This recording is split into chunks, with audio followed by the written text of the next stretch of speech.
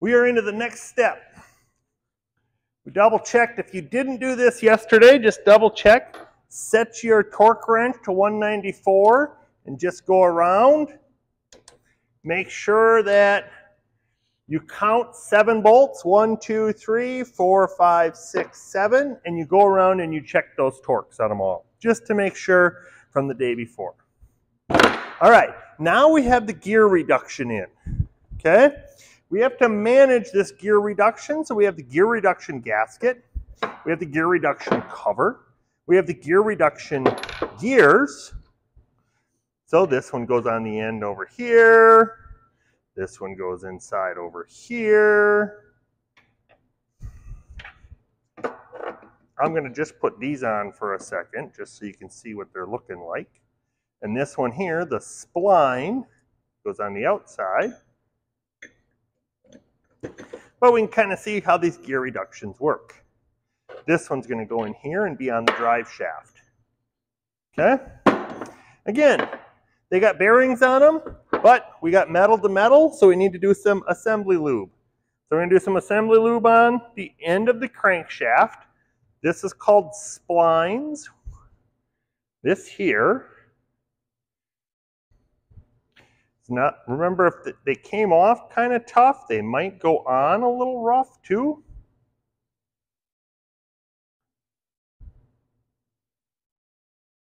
So the splines, there is not splines on this side, but there's splines right out to the outside edge on this side.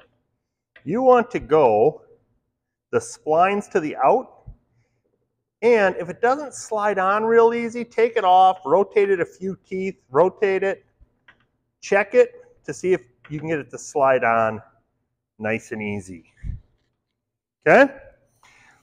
Then some of the tools we need. We need a flange bolt. This is one of the few flange bolts that's this length. It does not have, you'll see the longer flange bolts that hold the cover on are right here.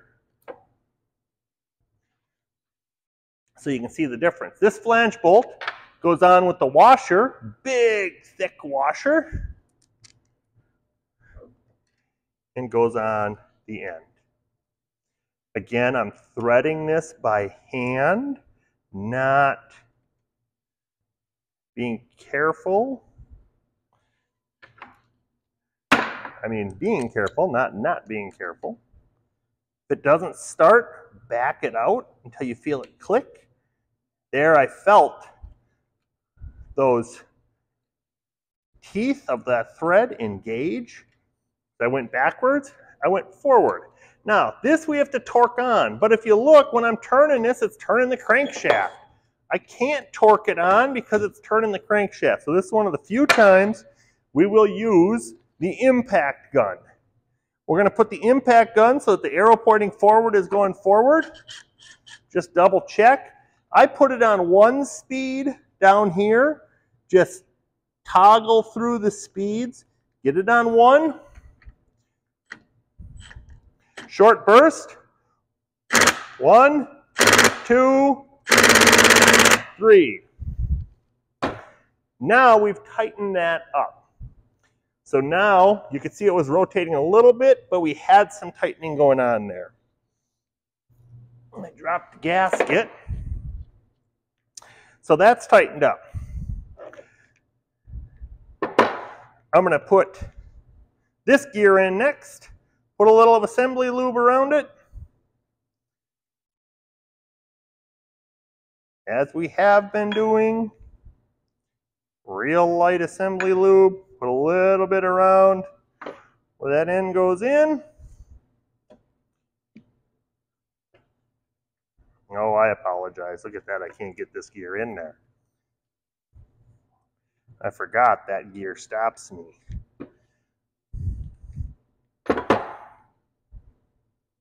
So now I got to get this gear in. Big gear meshes with this big gear over here. Put a little assembly lube on that.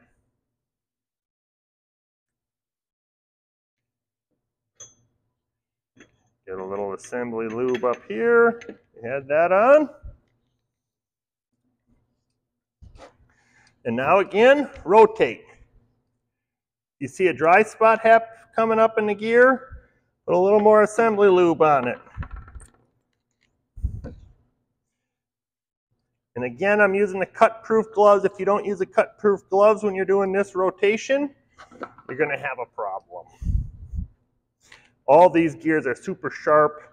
Any pinch point in there, pinches your skin in there, opens you up pretty good. So we got that part done. Now comes our two dowel pins. 14 millimeter long dowel pins. Just like before, I look for these little holes that don't have threads in them. There's one down here. There's one up here. They don't go in nice and easy. Put a little assembly lube on them. It doesn't hurt them. Got to put a little assembly lube on the two ends of these pins that are going to be fitting through the holes here. Those are sometimes called journals. Right here, a journal is something that rides on another shaft. And then this one here is a little bit tricky figuring out which way it goes. Actually, mine here, if you look, it's got a tear on it. I'm not going to fill mine with oil. But I always look for these three that are close together. Those go in the bottom left. And these two that are close together go up to the top.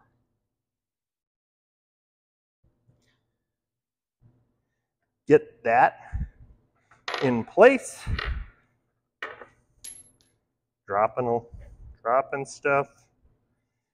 A little tip for you is I just put a little assembly lube behind that, just a touch and it kind of makes it sticky a little bit. Now, this hole has to go on that journal. That's going on that journal. Again, just like before, you kind of wiggle it in place and it slides together. Looking, checking, make sure my gasket stayed in place. It's not sticking out anywhere. And this one takes six of those flange bolts. One,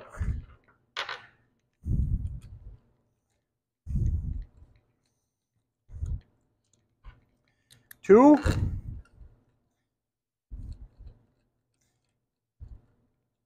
three,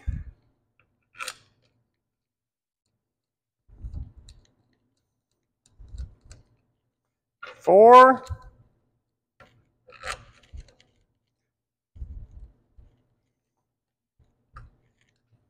five,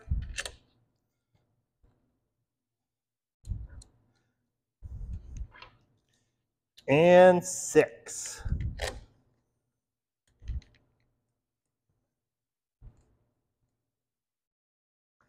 So I put them in by hand with the screwdriver. Do not use this to tighten them up. This will strip them out, guaranteed. And then you will be doing a helicoil repair, and we don't want to do that. Again, setting our torque wrench. It's at 17 foot-pounds, which is 204 inch-pounds. So we go up to 200. We back it off 6. So that's at 180 plus 14, which is 194 to make us 204. I'm going to slide this back a little bit. I'm going to slide this out to the edge again. And again, I like pushing down. Get it halfway there, Go crisscross, get it halfway there, go crisscross.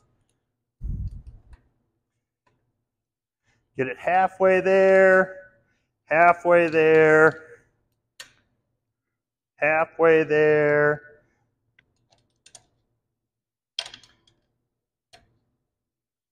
Halfway there. Come up, Go until I hear the click. Nice and easy. Slow, slow, slow. Click. Boom. Slow, slow, slow. Nice and easy. Click. Boom.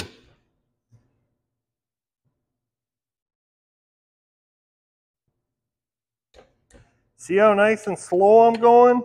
If you go too fast on this,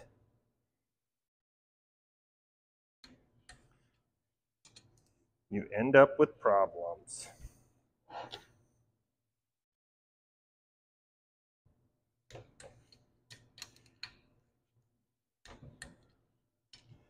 Oh, here's my last one, I think. Yep. Then I go around one last time. One. Put my finger on it to count it. Two. Three. Four. Five. Six. I got all six of those, and I got, if you remember what we do every single time, we rotate until we see two full revolutions or two up and down of the piston. Using these cut-proof gloves so we don't cut our hands when we're doing this. That is how we put the gear reduction assembly back on.